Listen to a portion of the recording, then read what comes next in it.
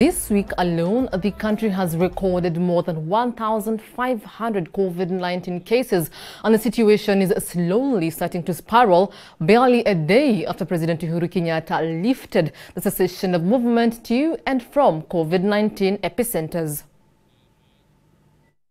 The war against the coronavirus pandemic continues to take shape in the country as the number of infections continues to rise each passing day, an indication that the healthcare system in the country is likely to be burdened by the increasing number of COVID-19 infections.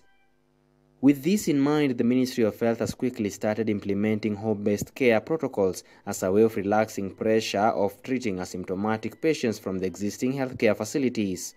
If you are asymptomatic, if you sample any of you and put you here today, your bill for today will be 21,300. And 65% of that cost is driven by PPEs.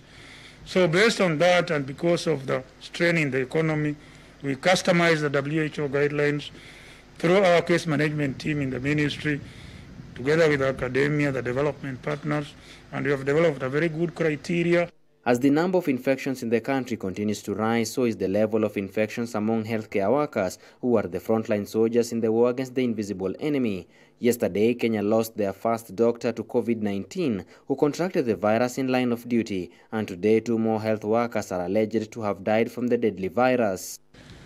The risk posed by this pandemic to healthcare workers is immense because they're the first port of call when people go to seek service and therefore naturally they are exposed. But on top of that, of course, healthcare workers are equally exposed at the community level. And because of the nature of transmission of COVID-19, it is very, very difficult to pinpoint where somebody acquired the infection.